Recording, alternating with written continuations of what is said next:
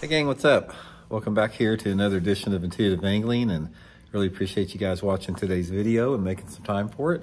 Guys, today we are going to talk about the unwritten rules of tournament fishing for both pro anglers and co-anglers. And, um, you know, we've touched on this a little bit in the past. I haven't done both co's and pros at the same time. But since tournament season is pretty much wrapped up with, I thought it'd be a good chance to refresh everybody as far as these what these rules are. And actually, the, the unwritten rules, in my opinion, should be rules in tournaments.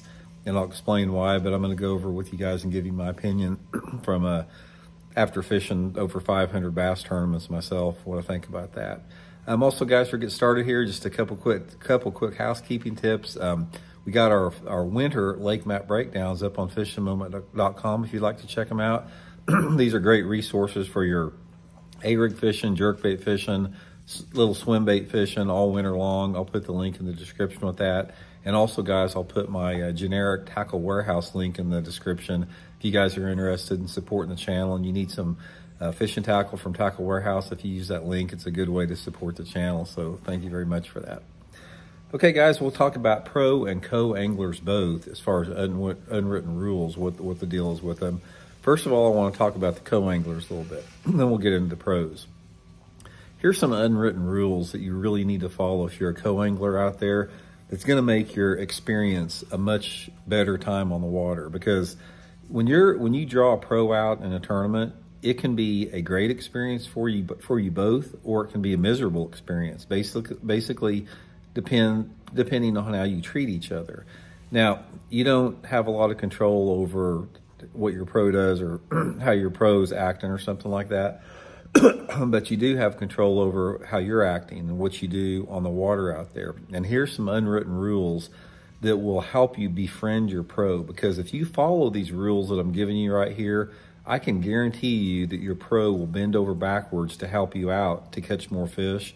And if you violate these rules, I can guarantee you they will make your day very difficult to catch fish. So it's well worth listening to this.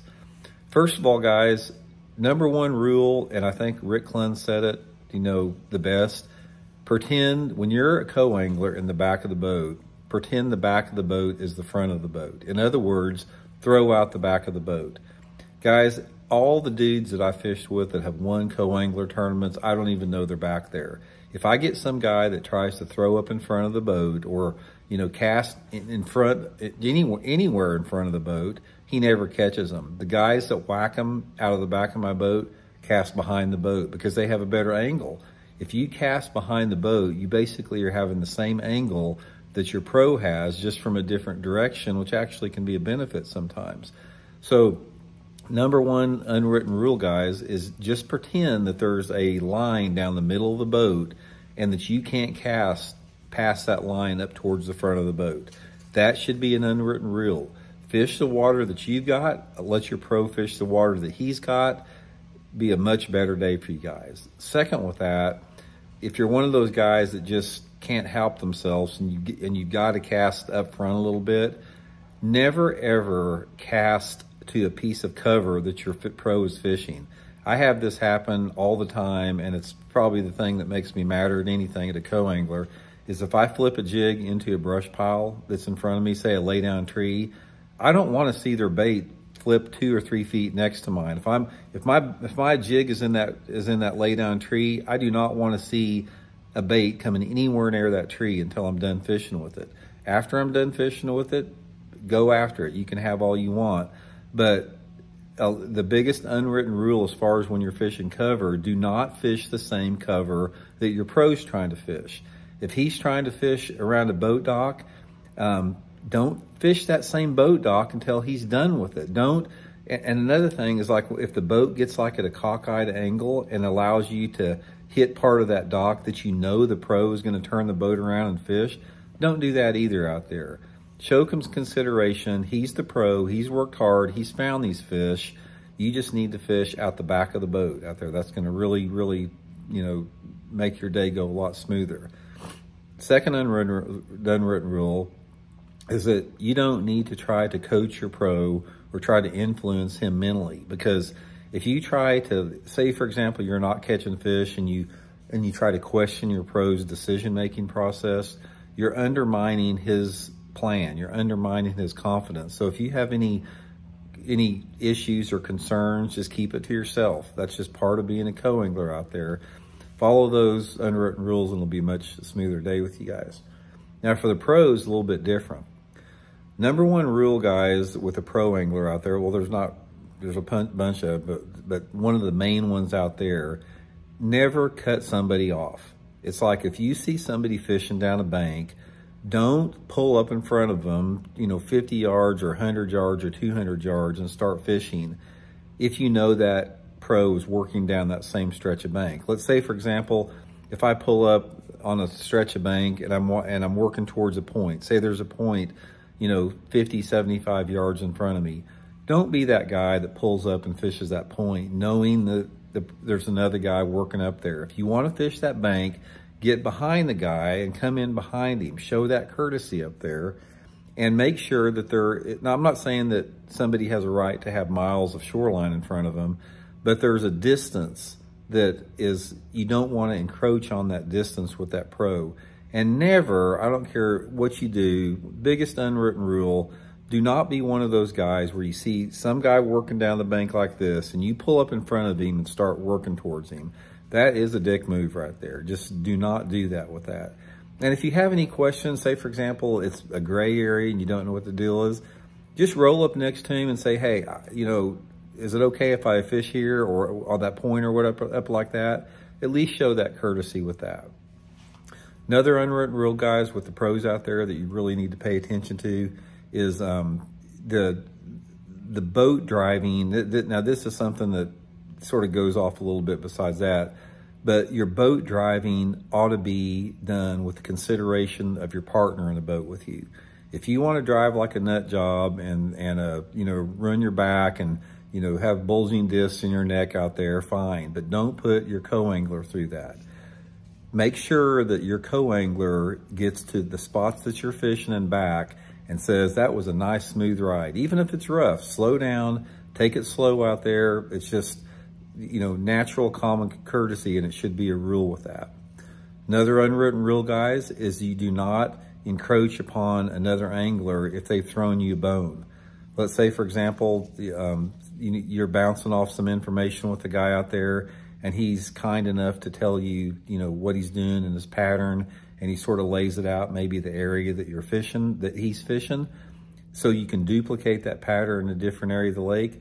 Don't show up to where that guy can see you. Don't don't undermine somebody's kindness because it's never going to happen again. If you don't if you, if you don't respect the fact that he's you know trying to help you out a little bit, that's that's never going to happen with that. So main thing, guys, as far as the biggest unwritten rule with the pro out there is just, you know, be aware and be courteous of your fellow competitors out there.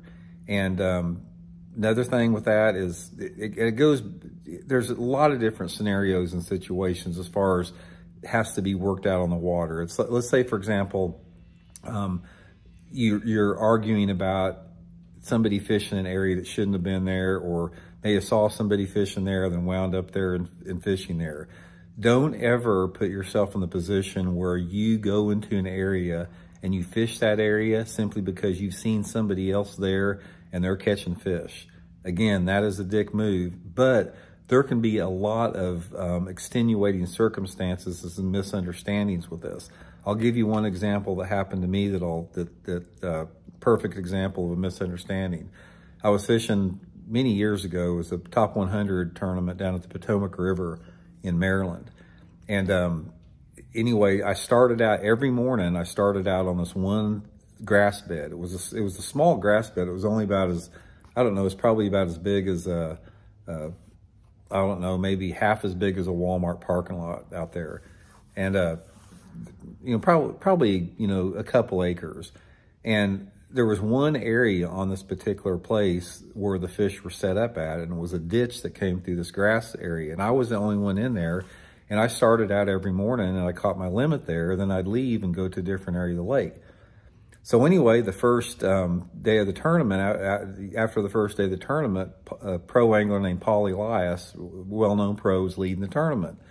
And um, I was, I can't remember, I was somewhere, you know, in the 20s or 30s like that And I went out the next day and I went straight back to my spot where I caught him there and um, started fishing. And then uh, Paul pulled up and he goes, what are you doing here? This is where I'm leading the tournament at. It says, Paul, I didn't know that you were even fishing here. I said, I caught my limit here yesterday morning. I had no clue that you were here like that. And, you know, it was tense a little bit, but the, the, the point of the matter is that was an honest uh, not it wasn't even a mistake, but it, but it was one of those things that happens in tournament fishing that's a misunderstanding. We finally worked it out. He, I was, I, he, I explained to him the time I was there.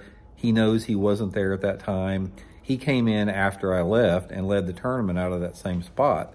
So um, from that standpoint, that does happen, but that's not what I'm talking about. I'm talking about where guys out there intentionally get into an area or fish an area that they shouldn't be in. And this happens a lot in grass areas. You see this happen a lot where there'll be somebody out in the middle of a big grass field, like down in Florida or maybe in Texas or somewhere.